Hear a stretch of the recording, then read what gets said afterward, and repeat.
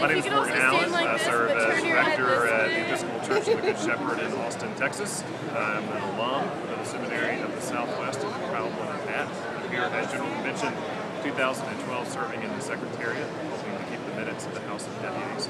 And I think that in this moment, the church needs from her leaders generosity. Generosity of spirit, generosity of time, generosity of commitment.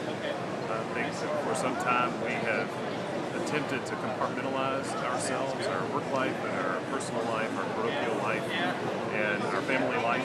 And I believe in this moment we need integration. Uh, leaders who are able to recognize how the different elements that comprise their uh, faith life and their work life and their home life are all one.